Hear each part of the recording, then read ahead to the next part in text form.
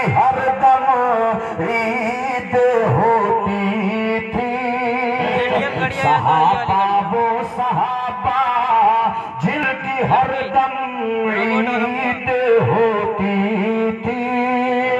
اور خدا کا ذکر کرتے تھے نبی کی دید ہوتی تھی۔ زندہ۔ کریا کریا۔ زندہ باد۔ درود شریف پڑھ لیجیے اللہم صلی علی سیدنا، شفیعنا، حبیبنا، مولانا محمد معدن الجود والکرم وعلا علیہ وبارک وسلم صلاة و سلاما علیک یا رسول اللہ صلاة و سلاما علیک یا حبیب اللہ۔ صحابہ کرام رضوان اللہ علیہ مجمعین نے جب عشق کی دولت کو لے کر کے اور آقا صلی اللہ علیہ وسلم کی محبت میں فنا ہو کر کے جس طرف گئے ہیں پہاڑوں نے ان کا استقبال کیا ہے دریاؤں نے ان کا استقبال کیا ہے۔ آپ ذرا اندازہ لگائیے یہی تو عشق مصطفیٰ ہے۔ میرے آقا علیہ السلام تو تسلیم کی بارگاہ ہے۔ حضرت سیدنا ابو بکر صدیق رضی اللہ تعالیٰ عنہ ہیں۔ فجر کی نماز سے بہت پہلے در نبوت پر اپنے سر پاک کو رکھ کر کے سو جا رہے ہیں، سوتے نظر آ رہے ہیں۔ جب میرے آقا اپنے کاشان نبوت کے دروازے کو کھولتے ہیں تو دیکھتے کیا ہے ابو بکر صدیق اپنے سر کو در نبوت پر رکھ کر کے سو رہے ہیں۔ آقا ارشاد فرماتے ہیں، اے ابو بکر، ابھی تو فجر کی نماز کا وقت نہیں ہوا ہے۔ تم اتنا پہلے ہی رات میں کیوں آ جاتے ہو؟ اور میرے در نبوت پر کاشان نبوت پر سر رکھ کر کے کیوں سوتے ہو؟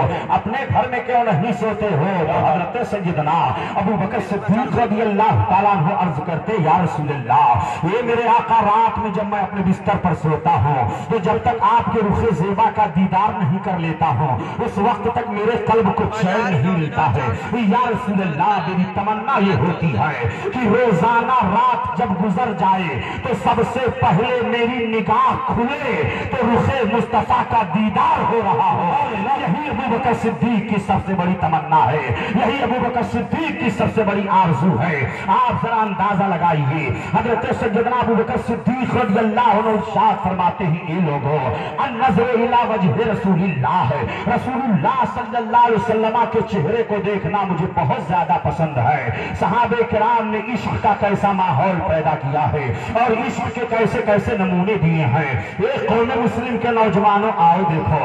عشق مصطفیٰ، جب تک آپ کے دل میں نبی کونین کے عشق کا چراغ جلتا رہے گا، دنیا کبھی آپ کو کبھی گمراہ نہیں کر سکتی ہے، کبھی آپ کو راہ ہدایت سے نہیں ہٹا سکتی ہے۔ اور جب عشق مصطفیٰ کے چراغ کی لومت دن ہوگی، تم کہیں بھی جا سکتے ہو۔ آپ حضرت عظیم البرکت، امام اہل سنت، امام عشق و محبت نے کس طریقے پر آپ کے ذہن و فکر کو صاف کیا ہے؟ امام اہل سنت یوں عرض فر کرتے ہیں۔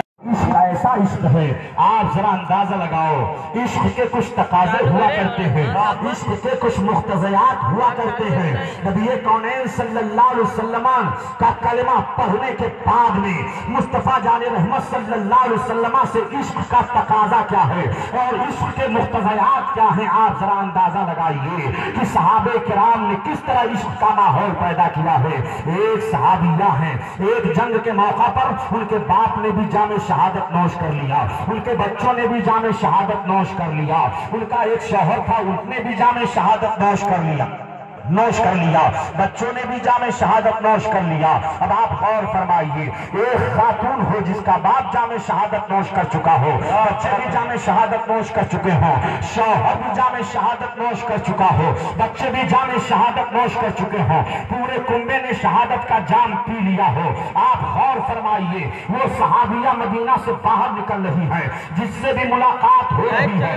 ہر ایک سے پوچھ رہی ہے یہ بتاؤ میرے سرکار کا کیا ہے؟ کونین کا کیا حال ہے آقائے دو جہاں کا کیا حال ہے کسی پوچھنے والے نے پوچھا اے صحابیہ اے انصاریہ صحابیہ تیرا باپ شہید ہو گیا ہے ان کے بارے میں نہیں پوچھ رہی ہے تیرا باپ شہید ہو گیا اس کے تعلق سے نہیں پوچھ رہی ہے تیرے شوہر نے جامع شہادت نوش کر لیا اس کے بارے میں نہیں پوچھ رہی ہے تیرے بچوں نے جامع شہادت نوش کر لیا اس کے بارے میں تو سوال نہیں کر رہی ہے تو اس صحابیہ عورت نے کہا تھا، آج بھی تاریخ کے لکھا ہوا ہے اس نے کہا تھا کہ کل میدان قیامت میں جب اللہ رب العزت آئے گا تو میرا سر فخر سے اونچا ہو جائے گا کہ میں ایک شہید کی بیوہ ہوں، ایک شہید کی بیٹی ہوں، ایک شہید کی ماں ہوں، ایک شہید کی بیوہ ہوں۔ میرا سر فخر سے اونچا ہو جائے گا۔ میرے بچوں نے جامع شہادت نوش کر لیا ہے، کوئی غم نہیں ہے۔ میرے شوہر نے جامع شہادت نوش کر لیا ہے، کوئی غم نہیں ہے۔ میرے باپ